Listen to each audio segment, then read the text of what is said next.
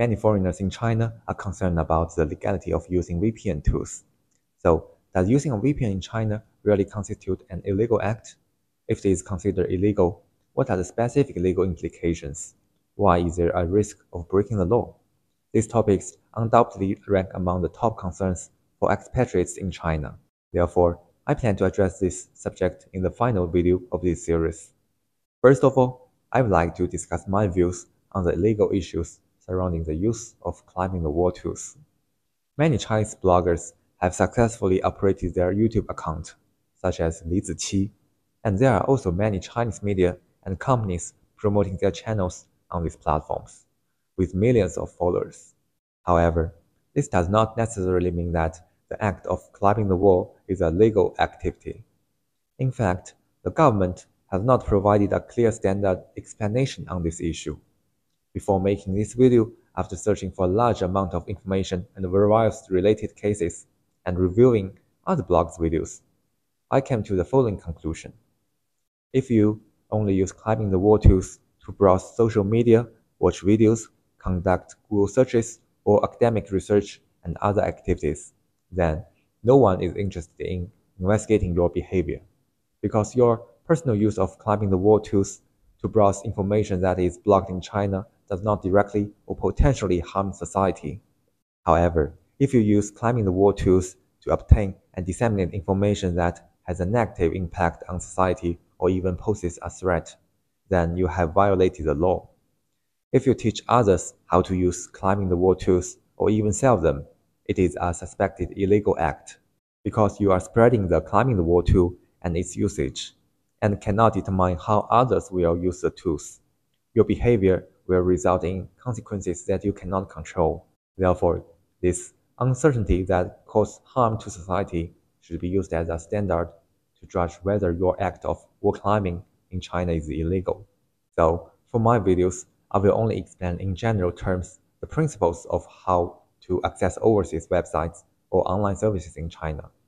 I will avoid involving actual operations, such as step-by-step -step instructions so as not to test the limits of the wedge legal boundaries. My principle is to respect the law and minimize uncertainty and risk. In addition, I will also popularize knowledge to foreigners in China who must use climbing the wall tools to reduce their concerns and avoid any behavior that violates the law. Many foreigners cannot understand why there is a need for the Firewall to restrict the free flow and browsing of information. In fact, when I was just becoming an adult and had little rational and objective understanding of our society, I could not understand why the Great Firewall existed. However, with the passage of time and the increase of experience, I have lived outside mainland China for nearly seven years and now understand the necessity of the Great Firewall. I believe that you can try to understand why. From my perspective, the existence of the Great Firewall is necessary at this stage through my videos. Why does China have the Great Firewall? Firstly, from a historical perspective, it is common for pro-opponents of different value systems to expand their influence and persuade others to accept their own values. Rulers often demand that foreign values do not influence their own citizens, which is also a common requirement. Secondly, rational, dialectical, and independent thinking requires education. However, the overall level of education in China is still not very high. According to statistics from 2022, out of China's population of 1.41 billion, only 60.63 million people hold a university degree, accounting for only 4.43% of population. Additionally, there are many countries, governments, social groups, and funds around the world that are keen on exporting and promoting their own values, as well as inciting and supporting the political regimes of other countries.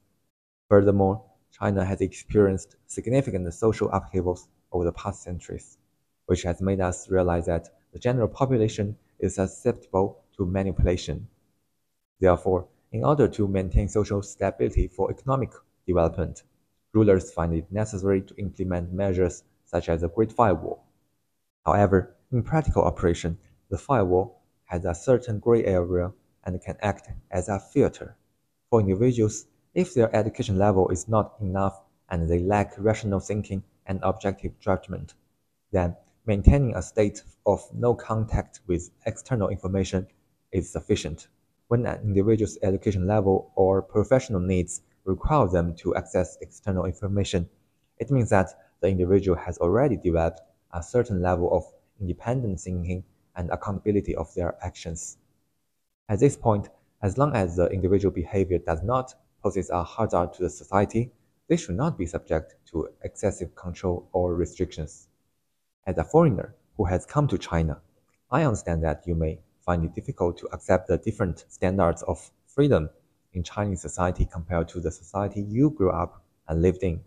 However, in China, to some extent, controlling the freedom of information may be seen as the optimal solution to maintaining social stability. I hope this video can help increase everyone's understanding of Chinese society and answer the questions of foreigners on how to comply with Chinese laws when using VPNs or climbing the wall tools. Finally, I want to emphasize that the normal academic, work, and entertainment needs are not a problem for foreigners using climbing the wall tools. However, do not spread false or harmful information, nor teach or sell climbing the wall tools.